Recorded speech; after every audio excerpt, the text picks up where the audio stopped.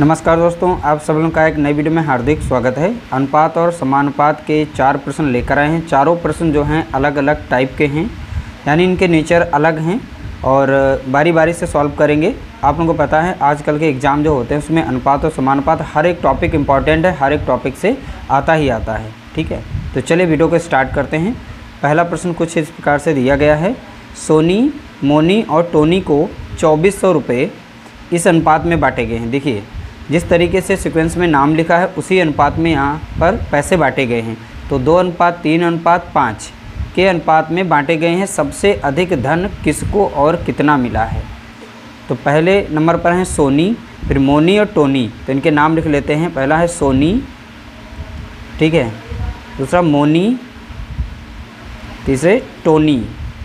तो ध्यान रखिएगा, अच्छे से देखिएगा, क्योंकि हर एक प्रश्न जो है अलग नेचर पर आधारित है। और यहाँ पर कुल रुपए जो दिए गए हैं, हम अच्छे से समझाएँगे ताकि आप लोगों को अच्छे से समझ में आ जाए। तो चौबीस सौ रुपये टोटल बांटने हैं। उनका अनुपात दिया गया है, सोनी का अनुपात दो और मोनी का यहाँ पर है तीन, टोनी का है पाँच। यहाँ पे पूछा गया है, सबसे अधिक धन किसको और कितना मिला है? देखिए, सबसे अधिक धन निकालेंगे, उससे पहले हम जितना भी अनुपात दिया गया है, अनुपात का योग कर लेते हैं। तो अनुपाती योग देखेंगे कितना है? अनुपाती योग मीन्स अनुपात का योग कर लेते हैं, यानी जोड़ लेते हैं इसमें। तो टोटल अनुपात की तो पहला कितना है? दो प्लस तीन प्लस पाँच। इन सभी को जोड़ेंगे तो अनुपाती योग कितना मिला है हमें? दस मिला है। ध्यान रखिएगा, कुल अमाउंट जो है दस है यहाँ पे। अब यहाँ पे पूछा गया टोनी का। तो टोनी का अनुपात यहाँ पे कितना दिया हुआ है? तो आप बताएँगे पाँच। अब यही मैक्सिमम है, जिसका अनुपात ज़्यादा है तो वही सबसे अधिक धन प्राप्त करेगा। ठीक है? और इनको मिलेगा कितना, ये बताना हमको है। देखिए तो यहाँ पर टोनी का जो रहेगा अनुपात तो वो टोनी का अनुपात है पाँच यहाँ पर, और अनुपाती योग टोटल कितना है? दस।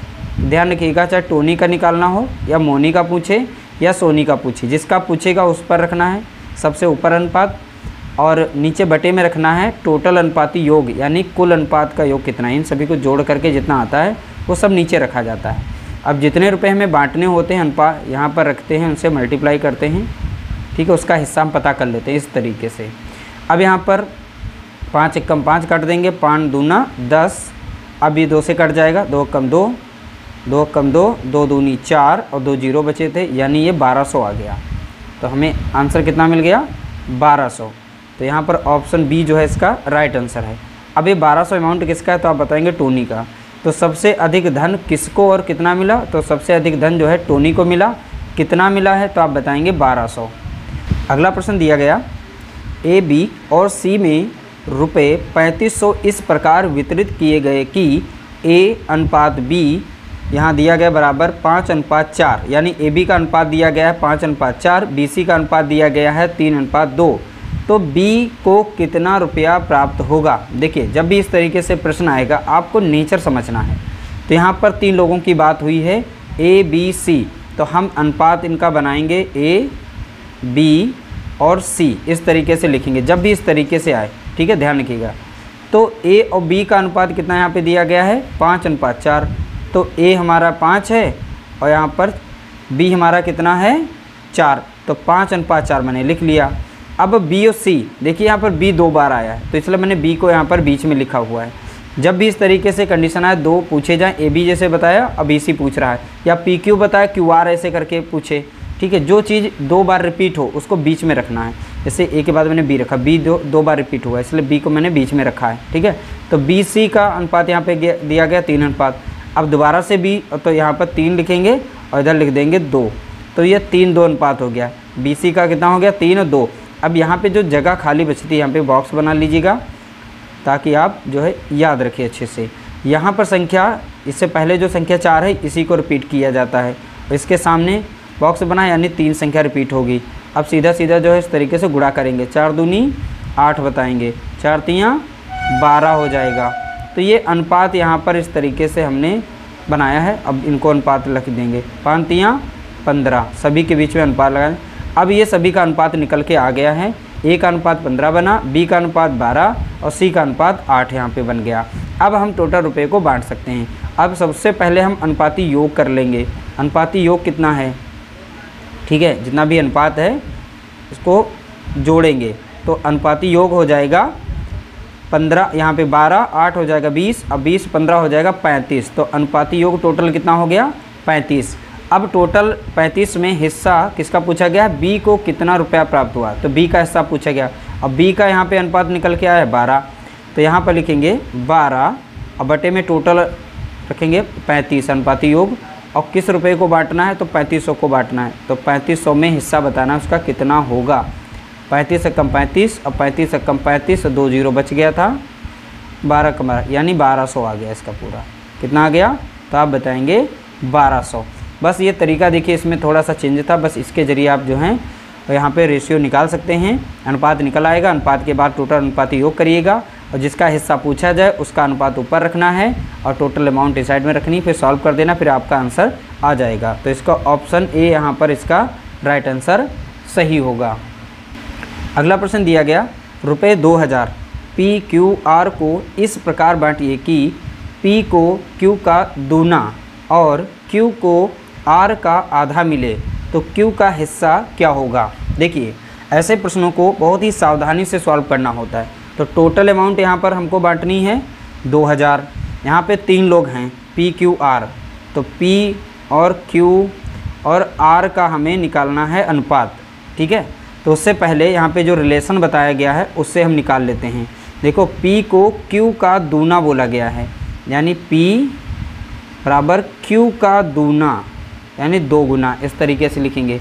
अब P P और Q एक साइड में कर लीजिए तो P अब इधर मल्टीप्लाई में तो इधर आ जाएगा डिवाइड में। इधर बचेगा कितना? टू इसके नीचे रखेंगे वन तो यहाँ से अनुपात हमारा कितना निकल आया? P बराबर दो हो गया। P का संबंध दो से है Q का संबंध एक से है। ठीक है? इस तरीके से देखेंगे।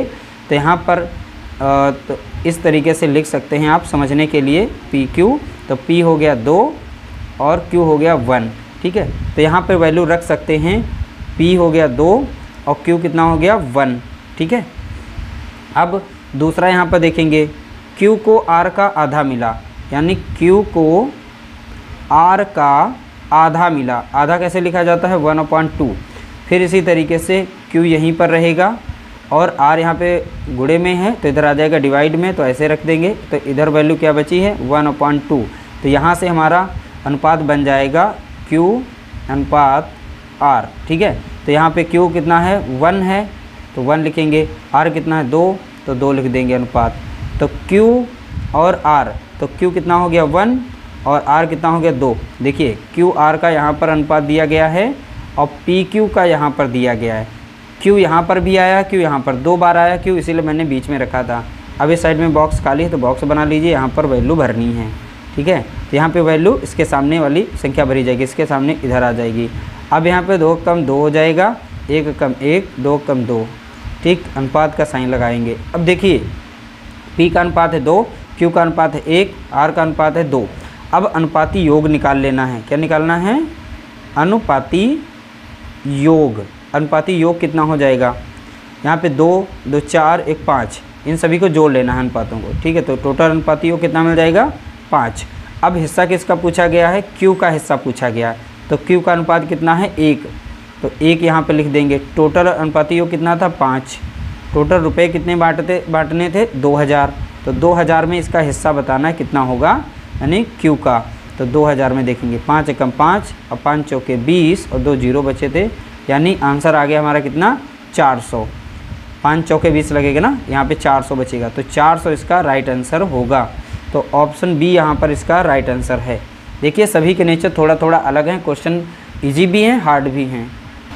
अगला प्रश्न दिया गया, कोई धन, हमें धन नहीं पता, यहाँ पर बताया गया, कोई धन पी क्यू आर में तीन अनुपात, पाँच अनुपात, सात के अनुपात में बांटी गई है। यदि क्यू का भाग 1500 हो तो पी और क्यू के भागों में अंतर ज्ञात कीजिए। देखिए पी क्यू आर का यहाँ पे दिया गया है अनुपात। ठीक है पी क्यू और आर। तो पी का अनुपात दिया गया तीन और यहाँ पे पाँच और सात। तो इस तरीके से अनुपात यहाँ पे दिया गया है। ठीक है? और यहाँ पे बताया गया है, यदि Q का भाग 1500 है, अगर Q का भाग 1500 है, ठीक है? तो यहाँ पर क्यू का जो यहाँ पे अनुपात दिया गया है, उसका संबंध किससे है? 1500 से है तो क्यू का भाग कितना है? 1500 तो यानी पाँच यूनिट का मान दे रखा है कितना? 1500 एक यूनिट का मान कितना हो जाएगा? 1500 को इस पाँच से डिवाइड करेंगे। पाँच कम पाँच पाँच तीन पंद्रह, दो ज़ीरो, यानी तीन सौ आ गया। एक यूनिट बराबर कितना हो गया? तीन सौ। ठीक है?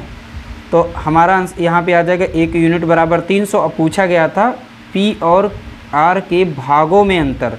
तो पी और आर का भागों में अंतर यहाँ है तीन, यहाँ है सात? तो अंतर कितना दिखाई पड़ रहा है? चार का अंतर दिखाई पड़ रहा है। तो यहाँ पर पी और आर के बीच में कितना अंतर दिखाई पड़ रहा है? चार का अंतर दिखाई पड़ रहा है। और एक यूनिट का मान है तीन सौ तो चार यूनिट का मान कितना हो जाएगा? तो तीन सौ से गुड़ा कर देंगे। तो चार तियाँ बारह, यानी बारह सौ का निकलेगा यहाँ पर। इसका राइट आंसर क्या हो जाएगा? बारह सौ। तो ऑप्शन ए यहाँ पर इसका राइट आंसर हो जाएगा। तो इस तरीके से चार प्रश्न हमने अलग अलग टाइप से लिए थे, चारों प्रश्नों को सॉल्व किया। आपको हमारी वीडियो कैसी लगी, कमेंट करके बताइएगा। वीडियो अच्छा लगा हो तो लाइक करिएगा शेयर करिएगा।